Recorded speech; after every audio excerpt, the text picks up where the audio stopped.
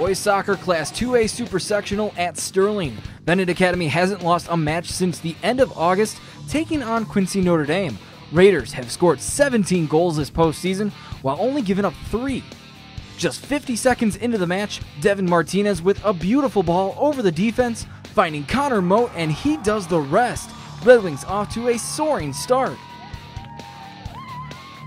QND looking for the equalizer in the eighth minute, but Max Van Steel's header can't connect with anyone in the box. Red Wings able to clear the danger. Midway through the first half, Brian Gold unloads on the goal kick. Ball makes its way to Franklin Rutkowski before Ben Kelly steps in front, taking it away and burying it in the back of the net. No chance for Lucas Klein. Benet up 2 0. 49th minute, Raiders trying to get the offense going.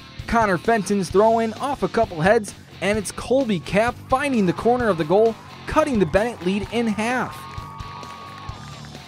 Raiders running out of time with the corner, but Peyton Stegman's heel kick sails over the goal.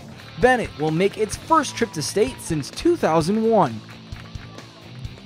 We've had a problem this year starting games off really well, and to do that in the beginning of the game really uh, helped us, I think. But then uh, towards the end, I think we gave up our guard a little bit in that second half, and they got another goal. But we were lucky to, to tough it out, and we got the win. It's a huge accomplishment that um, that I had that last goal. It's it's something that um, it's more like the shutdown goal that uh, it, you know it guarantees us a little cushion in case they get another goal, which they did.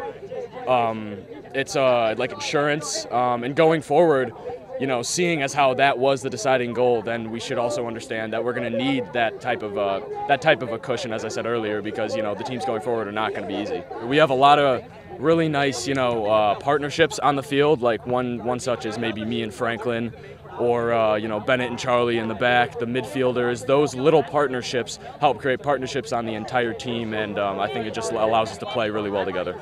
I'm just thinking, get through it, get through it when we get to the final four. It's going to be amazing. Uh, I've never been in this position before, so I'm really happy.